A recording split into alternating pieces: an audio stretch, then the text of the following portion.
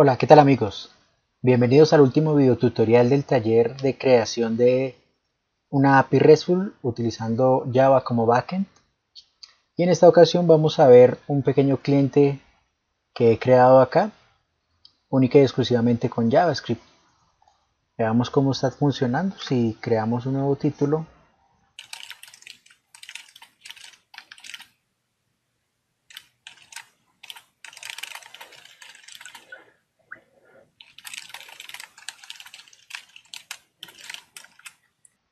Muy bien, recuerde que cuando le damos crear, él nos retorna este artículo como tal. Entonces vamos a darle crear. Y aquí nos creó eh, el artículo con el ID 6, el título, el contenido, quién lo está creando, el autor, y la fecha y hora de creación. También podemos darle clic en buscar y nos va a traer todos los artículos. Aquí están todos los artículos que tenemos. Y podemos buscar uno específico. Buscamos por ejemplo el 4. Nos trae el artículo número 4. Si buscamos el 3. Acá está el artículo número 3, el último que creamos, este de acá.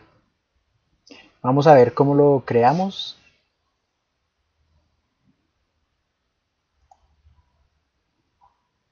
Muy bien, lo que hice fue crear un proyecto Java Web.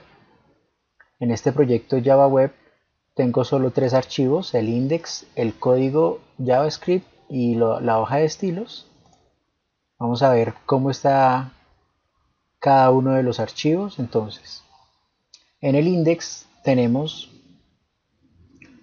eh, su título de artículos, tenemos un input de tipo búsqueda que nos permite digitar acá el número del artículo que vamos a buscar. Tenemos el botón que nos obtiene los artículos. Tenemos este div vista, que aquí es donde se va a poblar la información de los artículos que consultemos y tenemos este formulario donde tenemos el input text de el título del artículo y el text area del contenido del artículo. También tenemos un botón que nos permite crear los artículos. Acá al final tenemos un template el cual nos sirve para clonar la información y mostrar la información de los artículos en pantalla. También tengo una lista de reproducción donde podemos ver cómo crear nuestra propia librería JavaScript y ahí se muestra cómo se utiliza la etiqueta template. ¿Ok? ¿Qué tenemos dentro de, dentro de esta etiqueta template? Tenemos un input para el ID del artículo, un párrafo para el contenido, ok, me faltó acá el H3 para el título, un input para el autor y un input para la fecha de creación acá estamos llamando nuestro código JavaScript. Este es el archivo de hojas de estilos.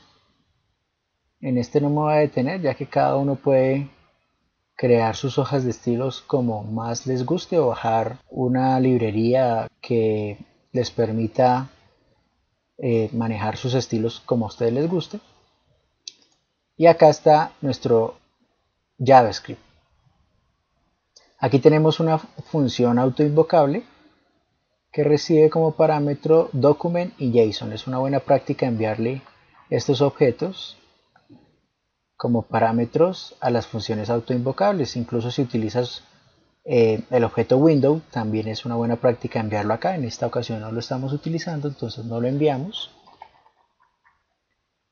Utilizamos el modo estricto para que nos vaya informando si hay algún error de sintaxis cuando creamos mal una variable o no está declarada una variable. Lo primero es crear una función que nos permita eh, ahorrarnos estar escribiendo el document get element by id. Así que con el signo pesos vamos a retornar el elemento que encuentre por el id que le enviemos. Tenemos tres variables en donde tenemos el botón que nos va a permitir buscar los artículos, el botón que nos permite crear artículos y el formulario. Con el botón de obtener los artículos, agregamos un listener al evento click y llamamos la función getAll para obtener todos los artículos o uno específico. Al botón de añadir artículo también le añadimos un listener para el evento click para llamar la función addArticle y al formulario le hacemos un listener al evento submit para que eh, prevenga que se envíe la información por submit. Así que podemos manejar mejor el Ajax. Ahora la función addArticle. Tenemos la URL de artículos. El método que vamos a utilizar es el método post.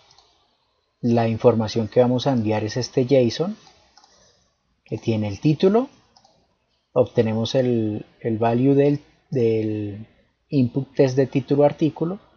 En contenido tenemos el value del text area de contenido artículo. Y como autor le estamos enviando aquí cliente. También tenemos un callback, el cual recibe los datos que nos devuelve el servidor y llamamos la función muestra artículo y le enviamos esos datos como JSON. Al final llamamos la función Ajax a la cual enviamos los parámetros de URL, el método, los datos y el callback que va a funcionar acá.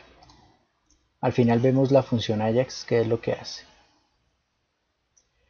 tenemos la función getAll que nos permite consultar uno o varios artículos. Entonces tenemos la URL para los artículos, el método get. Como data no necesitamos información. Tenemos el artículo ID, el cual va a obtener el artículo ID del campo de texto de búsqueda. Como callback tenemos eh, dos diferentes métodos. Uno se llama muestra artículo y le enviamos la información del artículo específico o muestra artículos y le enviamos todo el array de artículos.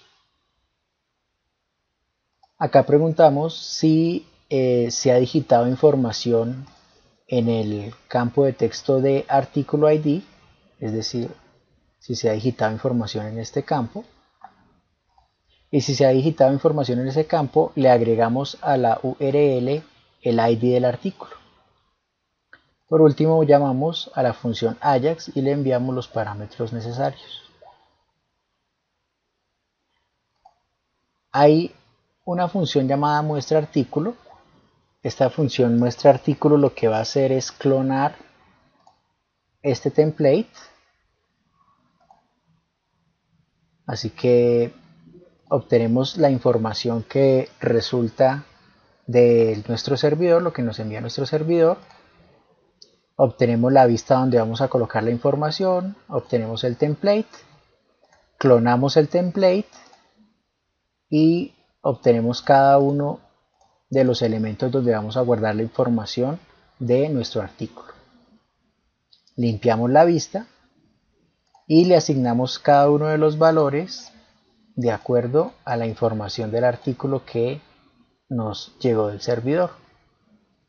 Al final, a la vista, le agregamos ese clon que hemos creado del template.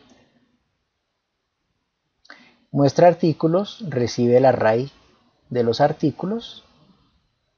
Tenemos igual que en el anterior la vista, el template, tenemos un fragmento este fragmento nos ayuda ya que como son varios artículos los que vamos a cargar, no los vamos a ir cargando todos a la vista principal, sino que vamos a ir guardándolos en memoria y al final cuando ya los hemos cargado y hemos clonado todos los templates necesarios, mostramos este fragmento en la vista. Tenemos nuestras variables de artículo, el clon y cada una de las variables necesarias para guardar o para mostrar la información.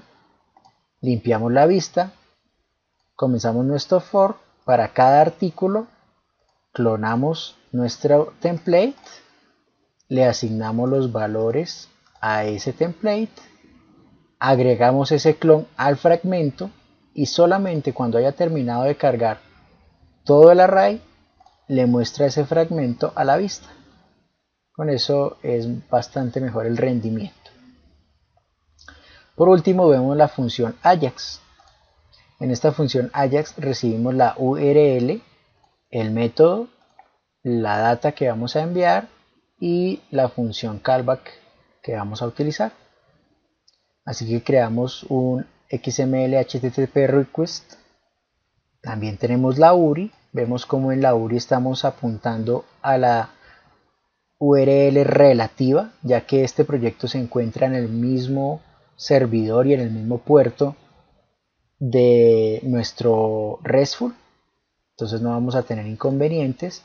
Si lo hacen desde otro servidor, ahí ya tendríamos que utilizar CORS, pero ese es un tema que no vamos a ver en este taller. Así que aquí lo que hacemos es asignarle, buscar dónde se encuentra nuestra API y le agregamos la URL. Recuerden que la URL es, es las artículos o es las artículos y el ID del artículo.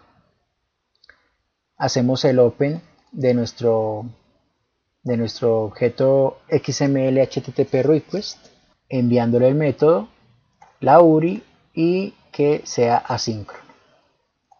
Le agregamos un listener cuando el evento load se cargue y llamamos el callback que hemos llamado en cada una de las funciones, por ejemplo.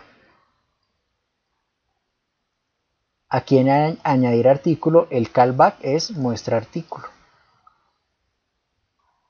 Acá en get all el callback es muestra artículo o muestra artículos. Ese callback se está ejecutando acá en el evento load de nuestra petición. Y le estamos enviando la respuesta del servidor. También tenemos eh, un evento, una escucha de evento error. Cuando haya un error, pues lo mostramos por consola para poder ver cuál es, cuál es el error que se está generando. Y acá hay que tener mucho cuidado con esto. Si el método que estamos enviando es get, no debemos enviarle nada. Pero si no es get, acá lo podríamos mejorar colocándolo si es post, post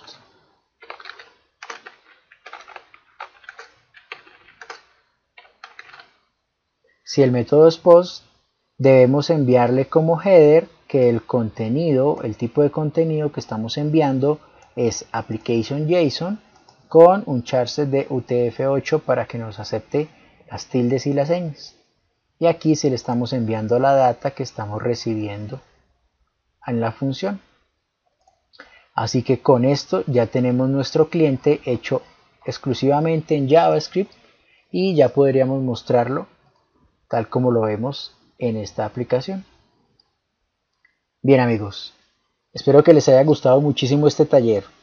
No olviden suscribirse a mi canal para seguir subiendo más contenido. Coloquen en, sus, en los comentarios qué más les gustaría ver y nos vemos en una próxima ocasión. Chao.